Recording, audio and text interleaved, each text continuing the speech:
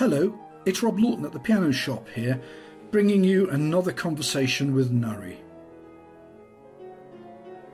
Throughout 2021, concert pianist Nurry Lee started collaborating with us at the Piano Shop in our endeavour to showcase our instruments performing at their very best. As a pianist with a wide classical repertoire, Nurry subjected our instruments to her demanding hands, carefully selecting scores that reflected the type of instrument. The objective of our videos is to portray more than simply the quality of the sound. It is also to convey to potential customers how the instruments respond to fast passages, light and heavy playing, repetitive notes, trills, and controllability. Over her career, she's played hundreds of pianos in schools, practice rooms, colleges, studios, and concert halls.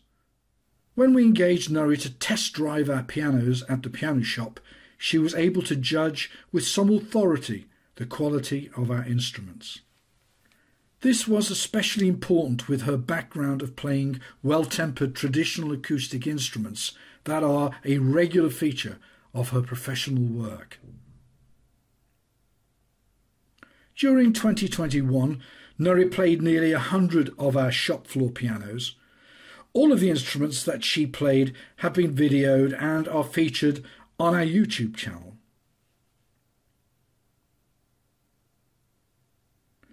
Before a recording session, it is essential that our experienced technicians sign off each instrument in terms of setting up the piano's action, regulation, and ensuring that it is tuned to concert pitch. It's for this reason that Nurry has yet to come across an unfavourable instrument at the shop. She certainly has her favourites, however, which are usually those that display the dynamics found in larger grand pianos. We sat down with Nurry and asked her for her thoughts on the many pianos that she had experienced at the shop. So let's hear what she had to say. In the piano shop, the pianos that I've played on, um, well, to start with, all of them, I guess because they they just feel brand new um, from the surface, like actual keys, to when you press them, the depression of them, um, to the sound, and of course, you know, the tuning and the you know the basic stuff. It's all it feels very new. Um, but of course, each piano, and I've, I think I've always felt like this with like you know any piano that I've tried. Each one distinctively has its own um, like personality, its own unique sound uh, touch, regardless of the sort of make they are. Um, of course, you know, grand pianos and uprights are slightly uh, different. But um, yeah, I think in the piano shop, I think it was really interesting because I tried out lots of different pianos, um, you know, like next to each other.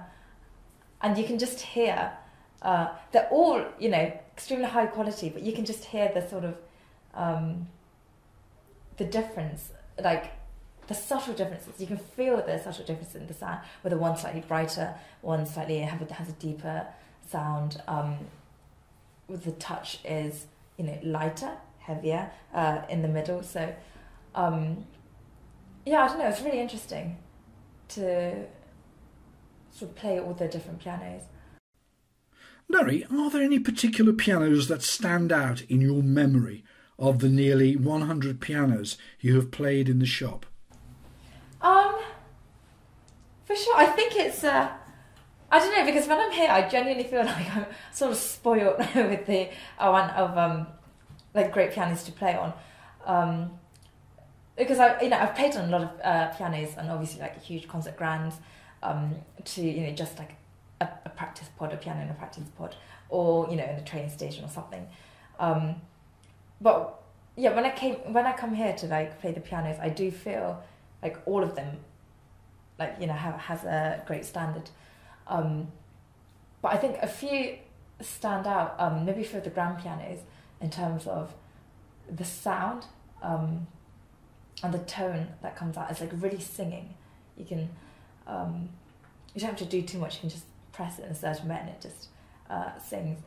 Um, and I think normally it takes me quite a bit to get used to the piano. So let's say I have to, if I have to perform something, then I, I would ideally like to just warm up on the piano just to see how it sounds. Um, and it takes me uh, a little bit to like warm up to the piano and get used to the sound, so then I can alter, um, you know, a little bits to make the music come uh, come alive. Um, but yeah, it was really interesting to like play different pianos next to each other because you just have to quickly do that, but you can really feel the difference in each piano.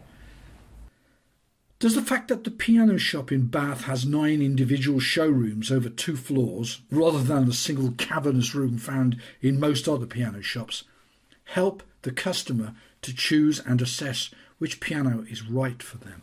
Oh, different. Oh, absolutely. Yeah, I think you can. Um, I mean, because there's such a range of pianos here, you can sort of, you can definitely, um, like even just visually sing a piano and then hear it being played and then like playing it yourself and the physical touch of it. Um, I think they're so unique that and like having them in different places, you can definitely like visualize and see if you know if it'll like fit in with your fit in at home, um, or like fit into your style of style of playing as well. Um, yeah, each each piano seems to have its own like sort of sort of aesthetic or its own uh, sound as well. Um, and I think its own personality, I really do believe that.